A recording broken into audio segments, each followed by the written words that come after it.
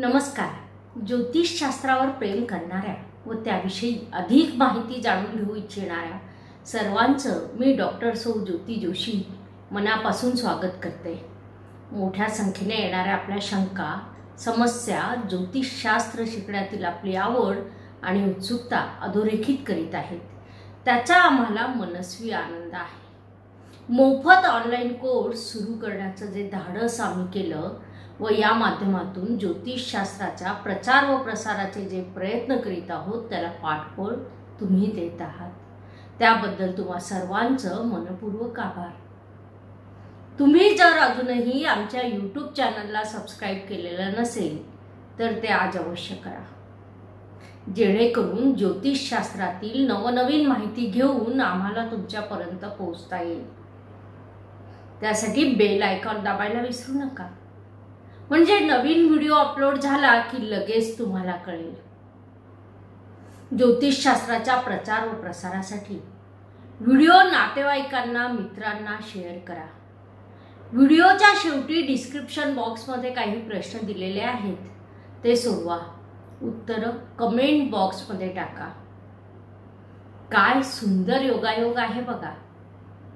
ज्योतिषशास्त्राच्या ज्ञानाची कवाडे सर्वांसाठी खुली करण्यासाठी ज्योतिषशास्त्राचं महत्त्व अबाधित ठेवण्यासाठी आपली संस्कृती जोपासण्यासाठी आमच्या मनात मोफत ज्योतिषशास्त्र सर्टिफिकेट कोर्स करण्याचा विचार आला.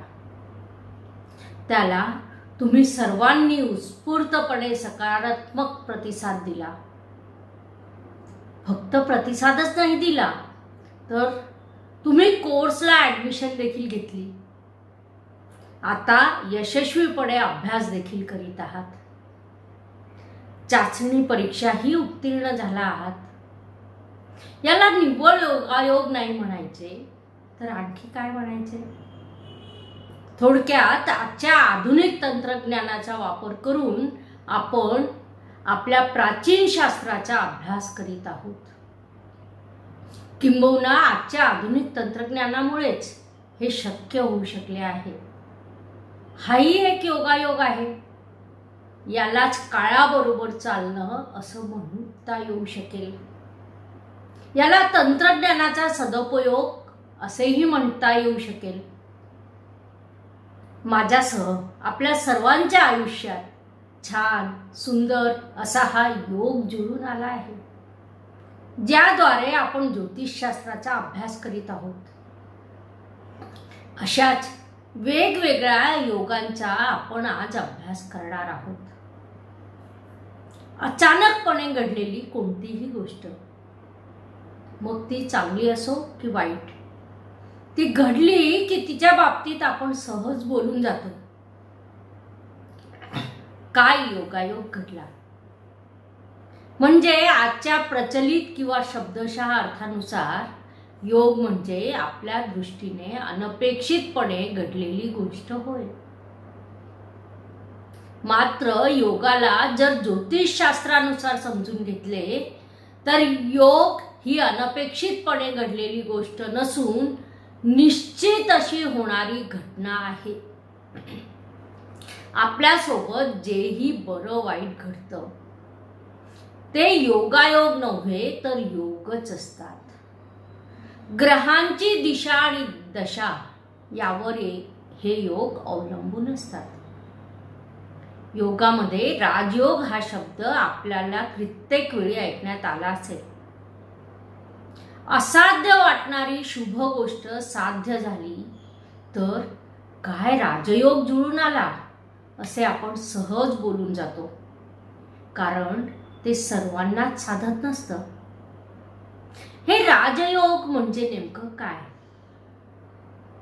याचा आपण आज अभ्यास करणार आहोत.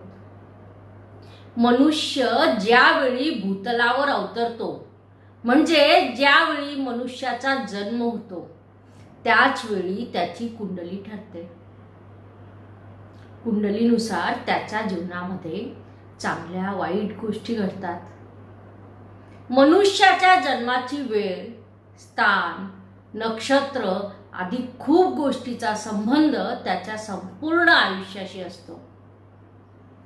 सर्वसाधारण विचारानुसार असं म्हटलं जातं की जीवनामध्ये मनुष्य जे कर्म करतो त्यानुसार त्याचं आयुष्य ठरत असतं. ते अगदी खरंही आहे. कर्माला जीवनात खूप मोठं स्थान आहे. कर्मानुसारच मनुष्याचं भाग्य ठरतं. मात्र काही लोक असे असतात की जे जन्मत आपले भाग्य घेऊन आलेले असतात. असे लोक कमालीचे विलक्षण असतात. एक प्रकारचं तेज त्यांच्यामध्ये असतं. प्रखर बुद्धिमत्ता व आकर्षक व्यक्तिमत्व.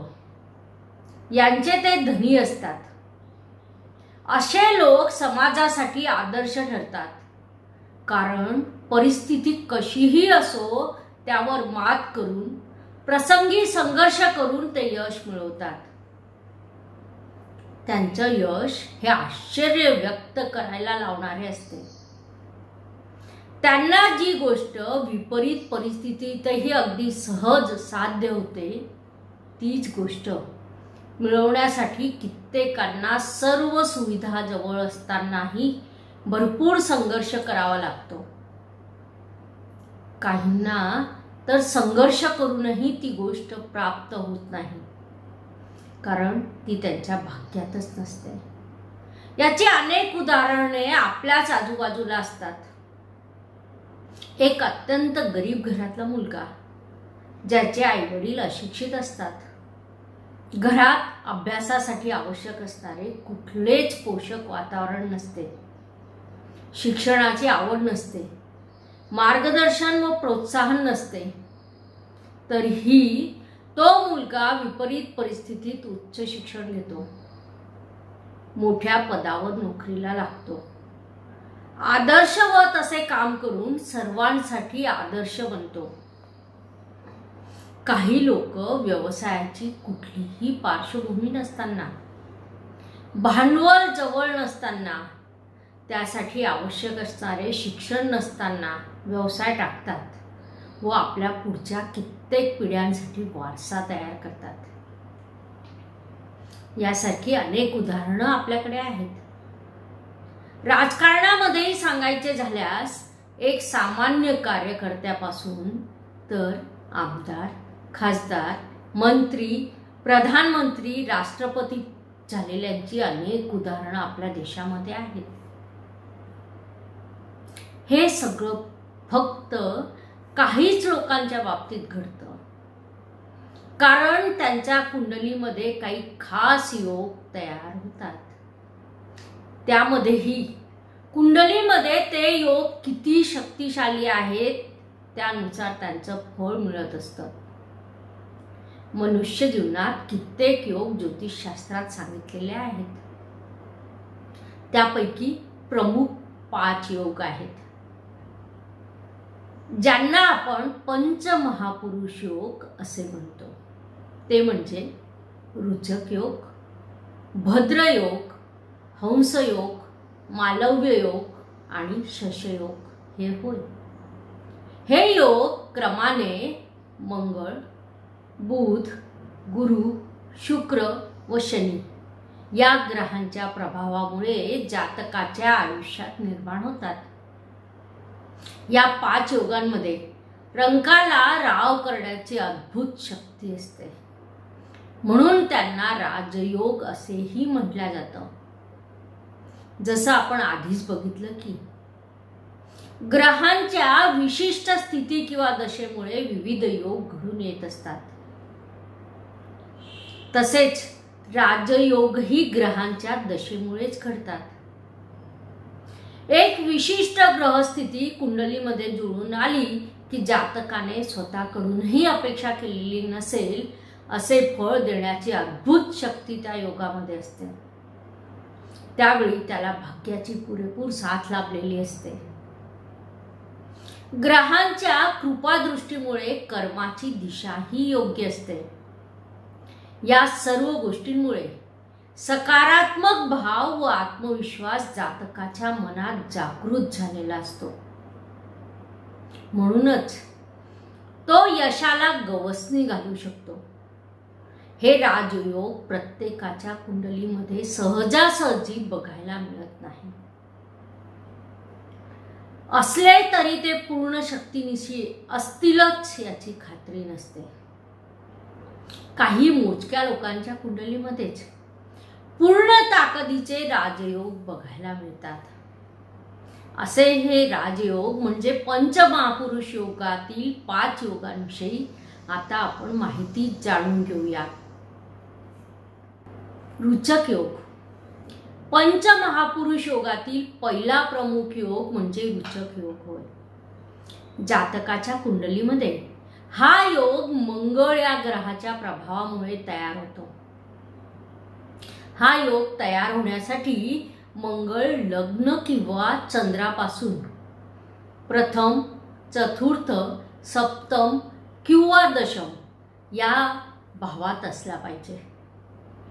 तसेच सोबतच तो मेष वृश्चिक या आपल्या स्वराशीत आणि किंवा मकर या आपल्या उच्च राशीत स्थिर असायला हवा. पत्रिकेत मंगळाची अशी स्थिती असेल तर रुचक योग तयार होतो. मात्र मंगळाची फक्त स्थिती असून उपयोग होत नाही. तर रुचक योग तयार होण्यासाठी मंगळ शुभ असायला हवा.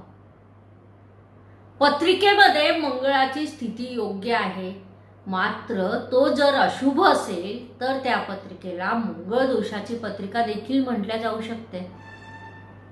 रुचक योग हा एक राजयोग आहे कारण प्रचंड शक्ती या योगामध्ये आहे.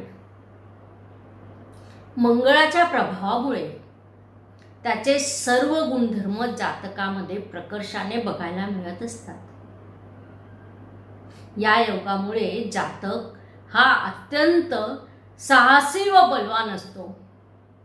आपल्या बलसामर्थ्याच्या जोरावर तो जीवनातील प्रत्येक गोष्ट मिळवतो. समाजामध्ये त्याला उचित मान सन्मान व लौकिकही प्राप्त होतो. मात्र हाच मंगळ जर अशुभ असेल तर मंगळ दोषामुळे याच्या विरुद्ध फळे जातकाला प्राप्त होऊ शकतात. भद्रयोग पंचमहापुरुष योगातील दुसरा प्रमुख योग म्हणजे भद्रयोग होय. जातकाच्या कुंडलीमध्ये हा योग बुध या ग्रहामुळे तयार होतो.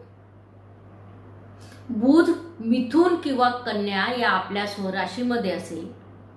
तसेच पत्रिकेच्या केंद्रस्थानी म्हणजे प्रथम चतुर्थ सप्तम किंवा दशम या स्थानात असेल तर भद्रयोग तयार होतो. या योगाचा प्रमुख प्रभाव म्हणजे बुधाचे सर्व गुणधर्म जातकामध्ये प्रकर्षणाने बघायला मिळतात. बुध हा ग्रह बुद्धीचा कारक ग्रह आहे. भद्र योग असलेल्या जातकाकडे अद्भुत बुद्धिमत्ता असते. आपल्या बुद्धिमत्तेच्या जोरावर तो जे पाहिजे ते सर्व मिळवण्याचा प्रयत्न करतो. व विपरीत परिस्थितीतही ते त्याला सर्व मिळतं. तसेच बुधाच्या कृपादृष्टीमुळे जातकाचं व्यक्तिमत्व सत्कर्म करणारा धर्माचे पालन करणारा परोपकारी वृत्तीचा असतो. तो मन व धनाने अत्यंत श्रीमंत असतो. त्याला समाजामध्ये कर्तृत्वानुसार उचित मान सन्मान व लौकिक प्राप्त होतो. महत्त्वाचे म्हणजे त्याच्याकडे कमालीची व्यवहार कुशलता असते. आपल्या स्वभावामुळे इतरांना आपल्याकडे आकर्षित करून घेण्याचा गुण त्याच्याकडे असतो. आजच्या काळामध्ये कोणावरही अवलंबून नसणारी समर्थ व्यक्ती बघायला मिळणं थोडं अशक्यच आहे.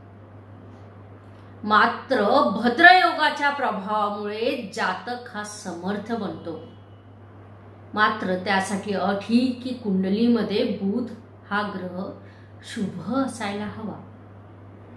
अशुभ असलेला बुध जातकाला फळेही अशुभच देतो. हंसयोग.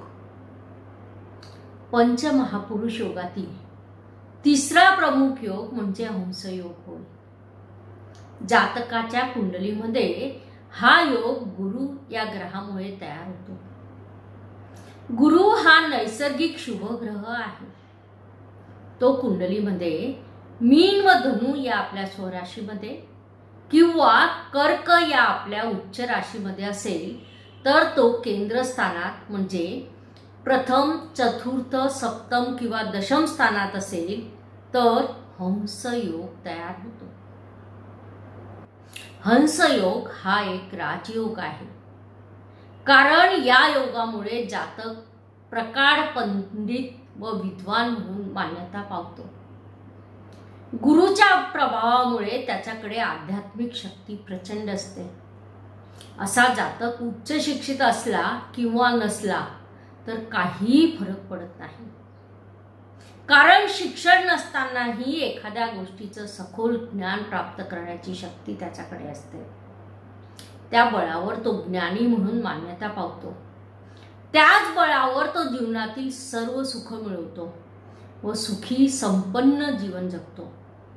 तो जिथेही जातो तिथल्या लोकांसाठी आदर्श ठरतो प्रशंसा मिळवतो. आपल्या विद्वत्तेच्या बळावर तो अनेकांना मार्गदर्शन करतो. कारण मार्गदर्शन करणं हा गुरुचा प्रमुख गुणधर्म आहे. मात्र त्यासाठी गुरु हा ग्रह शुभ असावा लागतो. अशुभ गुरु फळं देखील अशुभच देतो मालव्य योग. पंचमहापुरुष योगातील चौथा प्रमुख योग म्हणजे मालव्य योग. जातकाच्या कुंडलीमध्ये हा योग शुक्र या आपल्या ग्रहामुळे तयार होतो. शुक्र हा ग्रह वृषभ व तूळ या आपल्या स्वराशीत किंवा मीन या आपल्या उच्च राशीत असेल तसेच तो केंद्रस्थानात म्हणजे लग्नापासून किंवा चंद्रापासून प्रथम चतुर्थ सप्तम किंवा दशम या स्थानात असेल तर मालव्य योग तयार होतो. मालव्य योगामुळे शुक्राचे सर्व गुणधर्म जातकामध्ये प्रकर्षणाने बघायला मिळतात. शुक्र हा ग्रह सौंदर्य व सर्व प्रकारच्या भौतिक सुखांचा कारक ग्रह आहे. मालव्य योगामुळे जातकाचं आयुष्य या सर्व गोष्टींनी परिपूर्ण बनतं. शुक्राची कृपादृष्टी जातकावर असल्यामुळे तो विद्वान म्हणून मान्यता तर पावतोच. सोबतच अत्यंत शांत सौंदर्याचा भोगता स्त्री सुख संततीचे सुख वाहन सुख अशा सर्व सुखांनी त्याचं आयुष्य बहरलेलं असतं. मालव्य योगाच्या स्त्रियांना सौंदर्याचं वरदान लाभलेलं असतं. सौंदर्याच्या राष्ट्रीय किंवा आंतरराष्ट्रीय स्पर्धामध्ये त्या विशेष यश मान सन्मान व लौकिक प्राप्त करू शकतात. मात्र हे सर्व घडून येण्यासाठी कुंडलीमध्ये शुक्र हा ग्रह शुभ असायला हवा. अशुभ शुक्राची फळं अशुभच मिळतात. शशयोग. पंचमहापुरुष योगातील पाचवा आणि शेवटचा प्रमुख योग म्हणजे शशयोग होय. जातकाच्या कुंडलीमध्ये हा योग शनी या ग्रहामुळे तयार होतो. शनी मकर व कुंभ या आपल्या स्वराशीत किंवा तूळ या आपल्या उच्च राशीत असेल.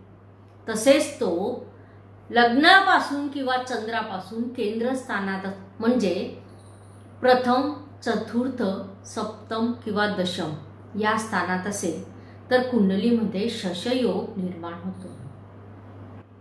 हा एक राजयोग आहे. कारण रंकाला राव करण्याची शक्ती या योगामध्ये आहे. शनी या ग्रहाविषयी समजापेक्षा गैरसमज जास्त पसरलेले आहेत. शनी महाराज जातकाला फक्त अशुभ नाही तर शुभ फळं देखील देतात. आणि जेव्हा देतात तेव्हा छप्पर फाडके देतात. याचे खूप चांगले उदाहरण म्हणजे शशयोग आहे. जातकाला राजा बनवण्याची शक्ती या योगामध्ये असते. मात्र त्यासाठी कुंडलीमध्ये शनी शुभ असायला हवा. त्याला कुठलाही दोष नको. तसेच शशयोगाची शक्ती किती आहे यावर जातकाची प्रगती अवलंबून असते. अशा प्रकारे पंचमहापुरुष योग किंवा राजयोग सांगता येतील. या प्रत्येक योगाविषयी सविस्तर माहिती आपण पुढच्या भागांमध्ये समजून घेणार आहोत. त्यामुळे आजचा भाग आपण इथे थांबवूया. ज्योतिषशास्त्राविषयी एकेका विषयाचा आपण अभ्यास करीत आहोत. हे सर्व शिकण्यासाठी आपला उत्साह नक्कीच वाढला असेल मात्र त्याबरोबर हेही सत्य आहे की ही सर्व शास्त्रीय माहिती असल्यामुळे एकदा ऐकून समजण्याची शक्यता कमी. म्हणून व्हिडिओ पुन्हा पुन्हा बघा. अजून चांगल्या प्रकारे समजून घेण्यासाठी ही माहिती आमच्या श्री ज्योतिष संशोधन केंद्राच्या फेसबुक पेजवरती लिखित स्वरूपात उपलब्ध आहे. तिचा लाभ घ्या. त्यावरून नोटबुकमध्ये नोंदी तयार करा. तुमच्या समस्या असतील शंका असतील त्या तुम्ही मला ऑनलाईन विचारा. एकाच वेळी अनेक जणांना ती समस्या आणि तिचं निरसन समजू शकेल. पुढील व्हिडिओची वाट पहा. तोपर्यंत या व्हिडिओमध्ये सांगितलेल्या गोष्टींचा अभ्यास पूर्ण करण्याचा प्रयत्न करा. तसेच जे अभ्यासक आमच्या या उपक्रमाशी मधूनच जोडले गेलेले आहेत त्यांनी पहिल्या व्हिडिओपासून अभ्यासाला सुरुवात करावी. कारण सध्या सुरू असलेले व्हिडिओ हे खूप ॲडव्हान्स आहेत. तुम्हाला बेसिक समजल्याशिवाय काहीही लक्षात येणार नाही. त्यासाठी क्रमाने पहिल्या व्हिडिओपासून अभ्यासाला सुरुवात करा. शुभम हो भवतु धन्यवाद.